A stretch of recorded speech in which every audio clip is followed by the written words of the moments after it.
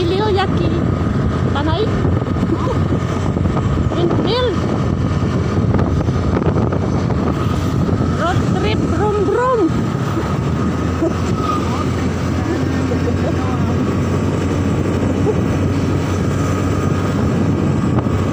We're going to